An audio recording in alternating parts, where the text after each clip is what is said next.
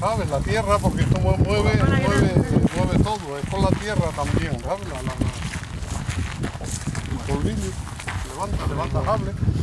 Y ya lo vi a punto de cosecharla ya. Ya mucho estaba para Claro, claro, eso Sí, mira, No, pero lo que se ve es que la, sí, la deja, mira, la, la consume, la, la seca. completa. Claro, Y Pegada en el cruce de la maceta estaba toda Mira, y el- cortada, o y sea, ¿Esto cuánto sería en, en kilos? No sé las matas que tiene esta huerta, pero 100 kilos hay. Aquí, 60, entre 70, 60 y 80. 50 de euros de pérdida. En esto. Si tenemos 130 hectáreas, Todavía no había recogido las naranjas.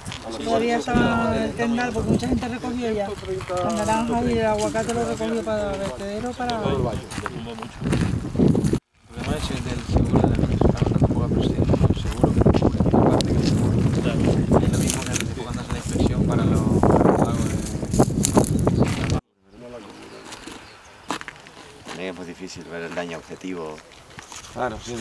claro, aquí se ve el daño, ¿no? Sí, aquí sí. Se ve porque hay fruta, pero por ejemplo, la- Pero a bote pronto se ve que la misma mm, la ha secado, en alguna finca literalmente la ha secado, ¿no? El fruto.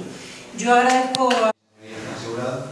Una vez eso, la zona en que pues, sería una zona que sería el Valle del Golfo, si el 30% de la zona, si más del 30%, o sea, aparte de parte de invernaderos, paredes, otras personas, enseguida con contemplaría las comunidades.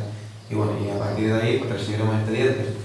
Otra cosa que yo quería decir también es que los daños en la piña, bueno, ya todos los que estamos en la piña sabemos, de que se van a ver eh, después ya